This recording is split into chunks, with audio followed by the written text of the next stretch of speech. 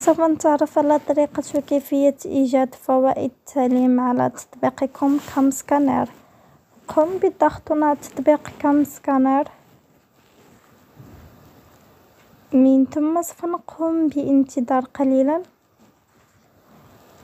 بعدها سوف نقوم بالضغط هنا. من ثم سوف نقوم بالضغط هنا على الحساب. بعدها سوف نقوم بالضغط هنا على فوائد التعليم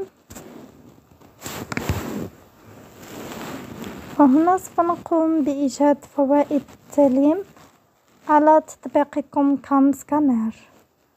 وهكذا نكون قد قمنا بحل المشكلة. ولا تنسوا الضغط على زر like والاشتراك في القناة. ونراكم في فيديوهات القادمة. إن شاء الله